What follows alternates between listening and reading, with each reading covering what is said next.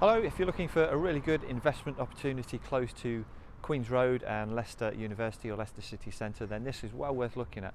It's flat 8 163 Knighton Road. It's a first floor flat. What the current owners have actually done is converted this into three separate bed sits with a communal kitchen and a communal bathroom. Each of those flats have produced a, uh, an income of about £500 per month it's coming on the market for 175,000, so that's a yield in excess of 10%. So really great investment opportunity. It's available with no chain.